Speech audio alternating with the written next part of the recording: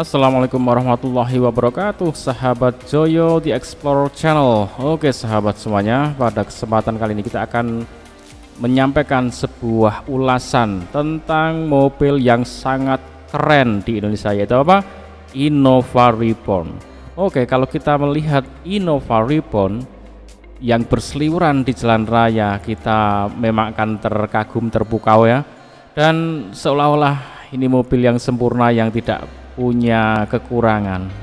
Tapi yang namanya barang, yang namanya benda, sebaik apa pun pasti punya kekurangan. Kelebihan juga pasti punya. Nggak mungkin dia e, mereka di didesain, dibuat, diciptakan untuk sebuah kelemahan tidak mungkin. Pasti dia diciptakan, didesain untuk menciptakan kelebihan sebanyak-banyaknya.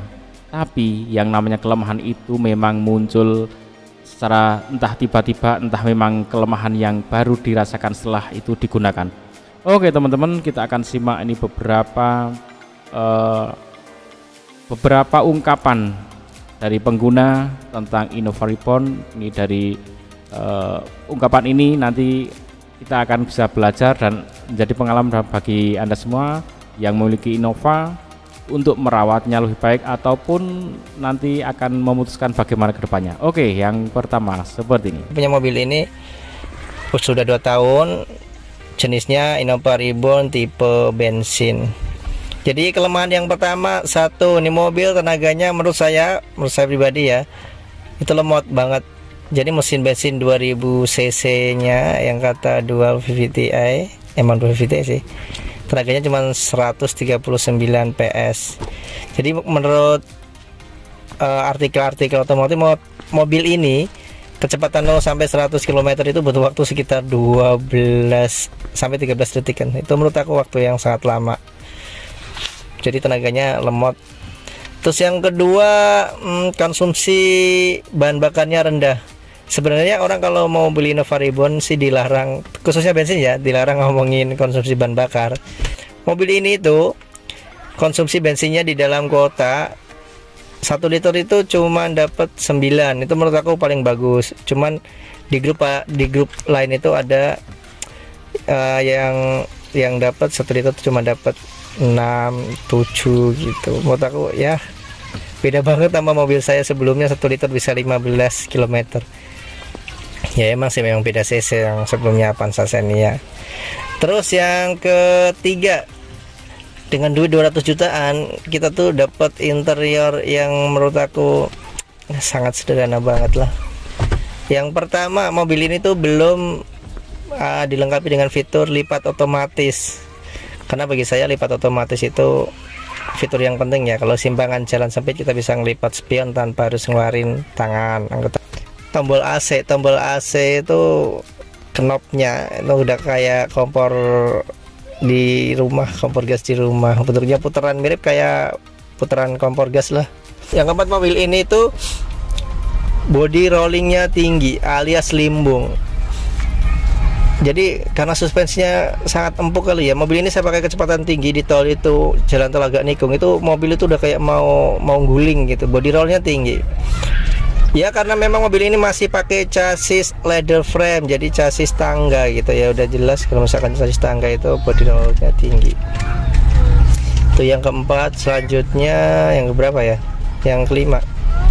Yang kelima nih menurut saya pribadi mobil ini saat di starter pagi-pagi suaranya gemuruh banget. Udah kayak helikopter itu bisa bangunin tetangga bisa bangunin tetangga. Ya karena suaranya berisik banget Oke teman-teman kita coba pengalaman dari orang berikutnya. Karena ini baru satu orang kita akan ambil dari pengalaman selanjutnya biar lebih bervariasi ya teman-teman. Itu uh, tapi uh, boyoknya itu yang jadi gua concern banget untuk tenaga bensinnya. Apalagi kalau kita keluarga full ya kita ke Bandung katakan itu cukup-cukup boyo dan ngeden ya itu lalu yang kedua Oke sama dengan yang tadi ya lemot istilahnya. Boyo dia bilang boyo lemot tenaga kurang. Oke kita lanjutkan. Dua adalah karakter betiknya adalah empat percepatan konvensional. Nah karena gue udah mencoba banyak mobil ya pengalaman berbagai met karakteristik metik ya e, memang empat konvensional ini memang tangguh ya untuk ditanjakan. Tetapi ketika kita jalan biasa memang apa ya bukan nggak enak ya kalau Wiante itu kan giginya ada 6 guys. Jadi ada konvensional 6 percepatan diirit di situ ditambah lagi uh, dengan giginya banyak itu ya tentunya mobil akan lebih cekatan. Nah ini uh, cukup kalau gue bandingkan ya dengan yang kayak pengalaman gue Biante atau Serena ya Magicnya gak cekatan gitu. Bahkan kadang Magicnya itu kayak gue gak tahu kadang-kadang kayak ketipu gitu. Jadi misalnya gue manual ini ke sport gue udah nurunin gigi tiga gitu kadang lama delaynya. Ataupun gue mau naikin ke gigi selanjutnya agak delaynya lama gitu. Sama adalah kekedapan kabin di saat di tol. Ini yang sangat gue concern banget gua nyetir cepet suara angin gede banget bro. Di samping gua nih annoying banget gitu. Naik Serena naik Biante bahkan naik Fortuner tuh gak gitu bro gitu. Tapi nggak tahu kenapa ini anginnya kenceng banget. Gue konfirmasi ke teman gue punya Innova juga sama kayak gini ya. Cuma emang tahun 2016an emang anginnya kayak gitu bro emang gitu. Oh ini gue kira ini adalah spionnya membelah anginnya nggak bagus. Tapi gue coba di tol tutup spion uh, sama aja gitu. Mungkin ini gue gak tahu ya apakah nih mobil membelah angin yang gak ya tadi kenyamanan untuk keluarga tadi ada komprominya komprominya adalah ketika kita jalan di tol. Gak tau kenapa ini mobil 100 lebih aja 110 ya. Ini mobil udah ngerasa melayang gitu. Gue gue yang mungkin uh, dengan coba mobil lain itu udah, ngerasa melayang nih mobil terlampau nganyun tadi. Kompromi dengan circuit breaker yang terlampau empuk. Jadi jadinya terlampau nganyun am, limbung banget gitu menurut gue uh, memang kan banyak aksesoris stabilizer ya mungkin itulah kenapa produk aksesoris itu keluar karena ada masalah limbung itu. Seperti oke ini mirip dengan yang sama tadi ya. Uh, lemot kemudian limbung itu masalah desain body dan stabilan ya. Oke, kita lanjutkan. Itu. Nah jadi itu yang jadi gua jujur ya gua agak jarang ngebut pakai mobil ini karena di pertama di kecepe aja ini yang anginnya udah annoying banget ya. Makin kenceng makin kenceng tuh angin suara angin. Lalu juga nih mobil ini limbung gitu ya. Jadi oh iya salah satu kelemahan lagi ada nih setir berat banget. Di jalan biasa nih setir berat banget karena emang ini electric power steeringnya masih yang lama kayaknya ya. Jadi kalau kita goyangin tekanan gasnya naik gitu guys ini berat banget. Kalau di jalan biasa gitu kita komplek dan sebagainya markir tapi kalau kita jalan tol ya tadi di 120 gitu kata di cepean le kalau kita jalan tol ya tadi di 120 gitu kata di cepean lewatin gitu ya. Mistir jadi enteng. Nah itulah guys salah satu uh, gue gak sukanya di situ. Jadi emang ketika lu nikmatin mobil untuk di tol jauh highway gitu ya uh, dengan di atas cepet cepet atas ini kurang kurang bisa menikmati ini mobil. Tapi ini mobil gue nikmatin jalan rusak ke alam adventure empuk kayak kakinya kali kalau sama keluarga uh, lewat posisi tidur ke jalan agak rusak ini mobil empuk banget nyaman. Oke sahabat Joyo di Explorer itulah beberapa kelemahan. Nanti di kesempatan yang selanjutnya kita akan kulik kelebihan-kelebihannya. Tentunya sangat banyak kelebihannya. Kalau saya lihat uh, kelemahannya cuman beberapa itu ya. Tadi yang cocok itu antara eh, tenaganya kurang ya. Kemudian limbung kemudian tadi setirnya agak berat karena elektrikalnya ya. Tapi kalau posisi kenceng dia enteng kemudian aerodinamik. Nah ini mungkin masalah desain ya.